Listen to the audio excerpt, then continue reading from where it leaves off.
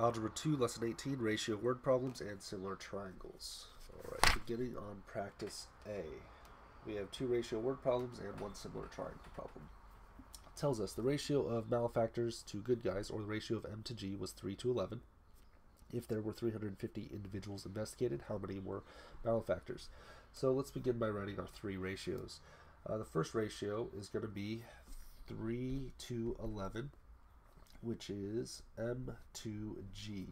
So that's part A to part B. So the second ratio will be part A, which would be 3M, to the total, which is 14. And the third ratio would be 11, which is part B, to the total, which is 14. Again, we get the total number by adding part A and part B. Now, if we go back to the problem, uh, since they tell us the ratio of part A to part B was 3 to 11, then we know that those are parts. Now, what they tell us after that is that there's 350 individuals investigated. So that's giving us the total. So 350 is our total number, and they want to know how many are M, or malefactors. So we have to look back at our ratios and figure out which one deals with the total and the M. Well, that would be this ratio right here. So that's the one we're going to use. So we take 3 to 14 and then we're going to plug in our number 350. 350 represents the total. So 3 over 14 is equal to x over 350. From here we cross multiply to solve. Uh, this helps us rewrite our equation as 14x equals 3 times 350. Divide each side by 14. Um, we can see here that 7 goes into 35 and 14 evenly. Uh, 7 will go to 14 two times. 7 goes into 35 five times. Then we bring that 0 up to make it 50. Uh, 2 can go into 50 evenly. 1, and that becomes 25. So then we just get x equals 3 times 25, or 75. So that's our answer for A. Not too hard.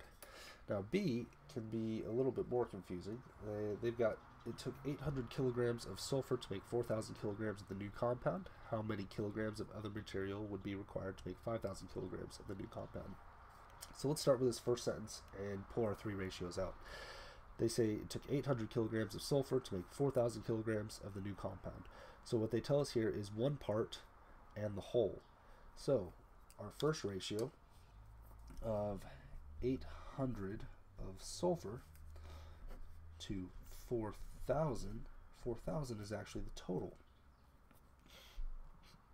Because 4,000 is the new compound. So if 4,000 is the total, we have to subtract to find the other part. Uh, so 4,000 minus 800 gives us 3,200 over 4,000. So that is the other stuff. We'll represent that with an O to the total. And then the last ratio would be 800 to 3200, which would be sulfur to other stuff. Now let's look at the second sentence to see which ratio we'll need to be using.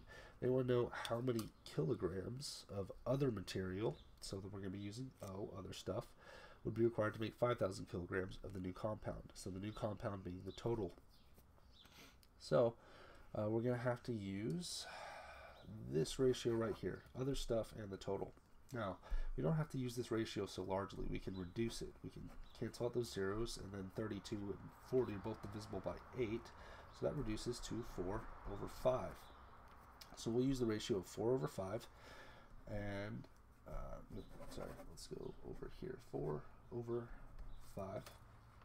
And they tell us that the new compound is going to have a total of 5,000 kilograms.